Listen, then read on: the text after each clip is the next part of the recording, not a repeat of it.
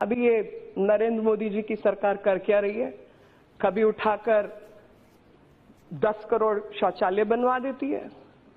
कभी महिलाओं को 12 करोड़ गैस के सिलेंडर बंटवा देती है?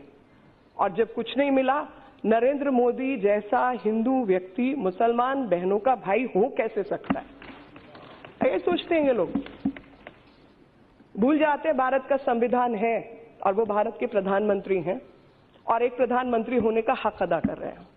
वो हक जो कि जवाहरलाल नेहरू के बाद राजीव गांधी अदा कर सकते थे और उन्होंने अदा नहीं किया।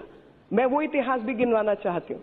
मैं गिनवाना चाहती हूँ कि उन्नीस सौ के समय पर जब शाहबानो का केस आया, और उससे पहले भी केस हो चुके थे, जब शाहबानो के केस में सुप्रीम कोर्ट ने आपको यही मौका दिया जो सायरा बानू के केस में भारतीय जनता पार्टी की सरकार को दिया। और कहा कि भाई, कानून बनाकर ये जितने विवादास्पद मामले हैं, इनको समाप्त किया जाए। किसने विरोध किया उस बात का?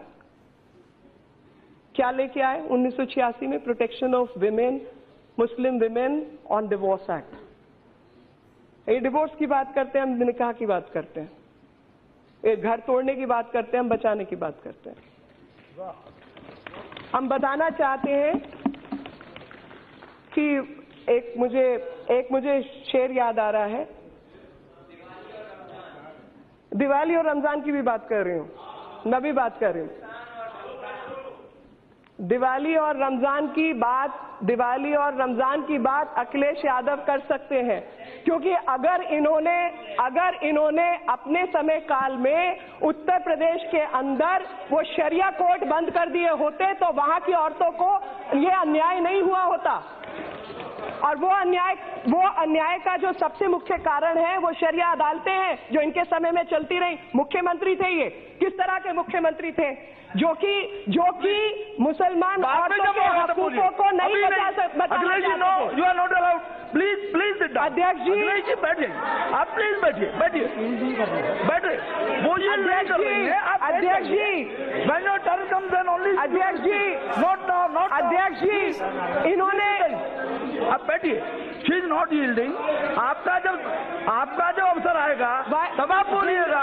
अभी मत बोल। बोल रहा है। आपका अवसर दिया जाए। अध्यक्ष जी आप प्लीज़ अध्यक्ष जी।